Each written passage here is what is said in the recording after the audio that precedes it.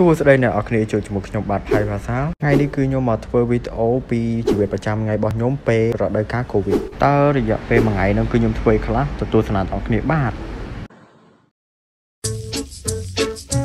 រៀងរាល់ថ្ងៃហ្នឹងគឺខ្ញុំព្រលឹមឡើងតែងតែបោះផ្ទះជប់ផ្ទះរៀបចំផ្ទះអីហ្នឹងបាទអ្នកទាំងអស់គ្នាអាចមើល timeline ដែលខ្ញុំថតនឹងបានបាទអូខេ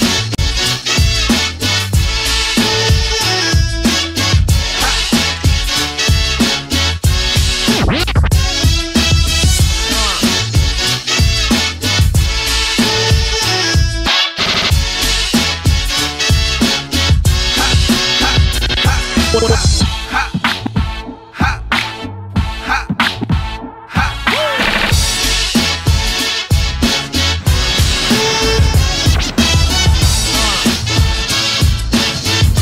ឲ្យហើយអស់នេះគឺមក7គត់យកមកអូខេហើយម៉ោង8នេះគឺខ្ញុំទៅផ្ទះពូម៉ាក់របស់ខ្ញុំទៅយករបស់មួយដែលវាបានខ្ចីរបស់ខ្ញុំទៅ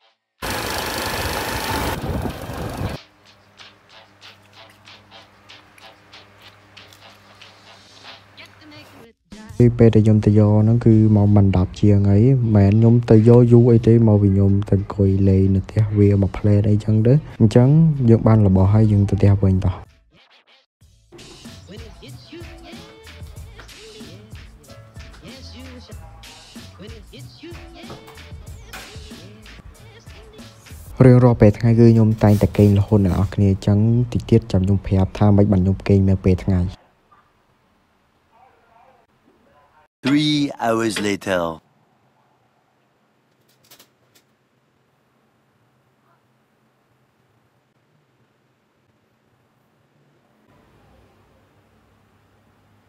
អ្នកនរគ្នាគឺពេលហ្នឹងគឺខ្ញុំរៀនមិនរៀននៅសាលាអ្នកនរគ្នាគឺរៀននៅក្នុងបន្ទប់របស់ខ្ញុំហ្នឹងព្រោះថាកូវីដអញ្ចឹងយើងត្រូវរៀនតាមអនឡាញរៀងពិបាកដែរប៉ុន្តែ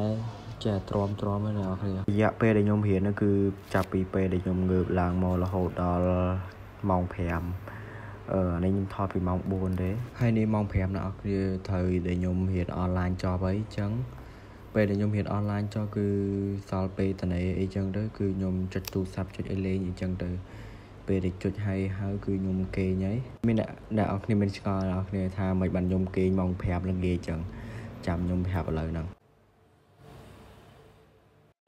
ដោយអ្នកនរគ្នាបានដឹងមើលគឺមិនបានខ្ញុំដេកម៉ោង5ហ្នឹងគឺដោយសារតែខ្ញុំហ្នឹងលក់ឲ្យបានយប់ច្រើនឆ្ងល់មកពីមិនបានវាអញ្ចឹងដោយសារតែខ្ញុំដេកឥឡូវហ្នឹងហើយងើបឡើងម៉ោង2:10យប់ដើម្បីលក់ឲ្យបានយប់អឺមិនបានខ្ញុំលក់ឲ្យបានយប់ដោយសារតែខ្ញុំលក់ឲ្យបានចាប់ព្រួយហ្នឹង24ម៉ោងជិះឃើញច្រើនឯងយប់យប់ឡើងតែគេលក់ចាប់ព្រួយចាប់អីចឹងគុំបាច់ទៅឆ្ងល់ខ្ញុំអត់ដឹងនិយាយប្រាប់មិនព្រោះវាអញ្ចឹងព្រោះ ខ្ញុំលក់អញ្ចឹងមែនហើយខ្ញុំលក់នឹងចូល3ឆ្នាំអីអញ្ចឹងវាអត់មានបញ្ហាអីដល់ខ្លួនខ្ញុំឯងវាបានទៅវងវងហ្នឹងគឺខ្ញុំរៀងឈឺរៀងអីតិចប៉ុន្តែ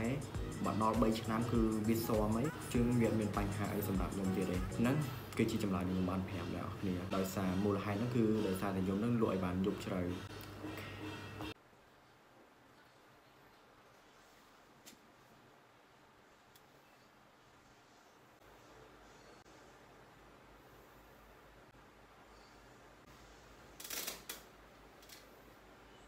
ឥឡូវហ្នឹងគឺខ្ញុំរៀបចំខ្លួនរៀបអីមួយទឹកមួយអីហើយអស់ខ្ញុំកំពុងតែដើរទៅលក់ឲ្យបាននៅខាងក្រោម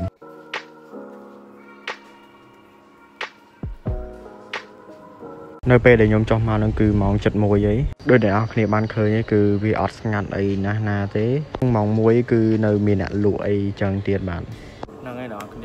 គ្នាហ្នឹងគឺជាការរស់នៅរបស់ថ្ងៃអឺប្រចាំថ្ងៃរបស់ខ្ញុំពេលដែលគេមកទិញអីអញ្ចឹងខ្ញុំត្រូវលក់លក់អីអញ្ចឹងណាឥឡូវគឺម៉ោង1យប់អីហើយវីដេអូរបស់ខ្ញុំគឺមានតែប៉ុណ្ណឹងហ្នឹងគឺជាការរស់នៅប្រចាំថ្ងៃរបស់ខ្ញុំហើយយើងនឹងជួបគ្នានៅវីដេអូក្រោយទៀត